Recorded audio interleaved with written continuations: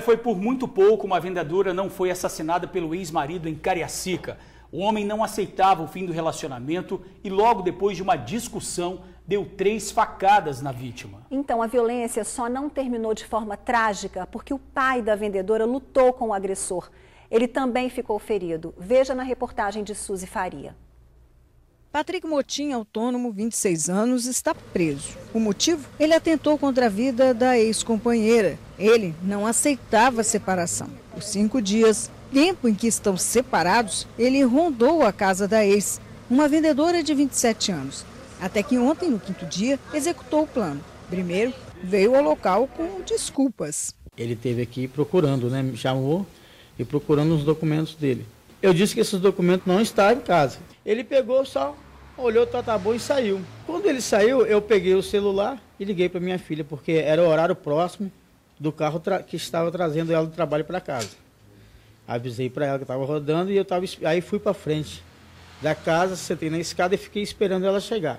O plano foi executado quando a vendedora chegou em casa do trabalho. Ela estava ficando na casa dos pais por medo das ameaças que vinha sofrendo e se sentia segura ali. Seu Carlos estava sentado aqui, como fazia todos os dias, devido às ameaças que a filha vinha sofrendo, esperando ela chegar do trabalho. Quando ela chegou, entrou, ele imaginou: ela está segura, afinal de contas, já está em casa e eu estou aqui.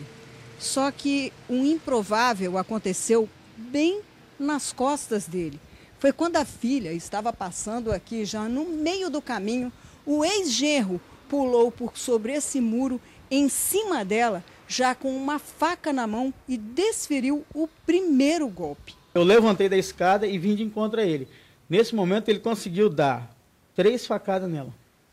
Quando deu as três facadas, eu segurei ele, saí puxando, mesmo assim ele resistindo, ainda deu um, um, um soco nas costas da minha esposa, eu peguei, arrastei ele, levei para fora na escada, ali com ele ali, lutando com ele ali.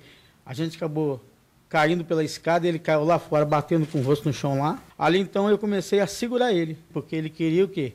Sair em fuga, fugir. A briga entre os dois foi parar na rua. Mesmo no chão, ele pediu a morte. Para a vida dele, ele pediu, me mata, quer dizer.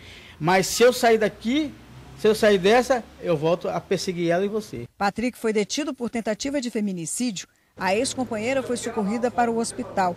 Segundo o pai, foram três facadas. Foi feita uma cirurgia, porque ela recebeu uma facada no abdômen, abriu mais, assim é, a minha esposa estava falando, para poder verificar que atingiu, parece um pouco o intestino dela e está internada.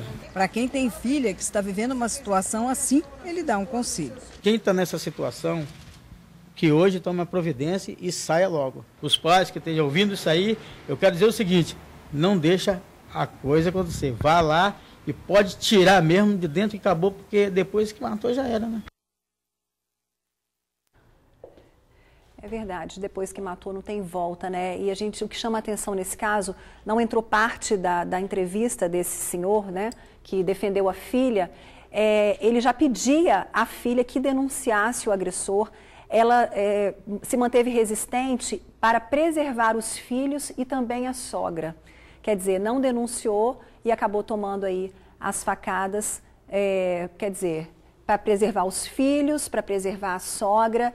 E aí tem o recado desse pai que se você, já que ele deu a, a dica, denuncie o agressor, ela não, não fez, então ele poderia ter feito, né? O que ele está dizendo aí. Então, se você passa por essa situação e, né, e alguém tenha resistência em denunciar, faça você mesmo essa denúncia para tentar evitar uma tragédia, não é, George?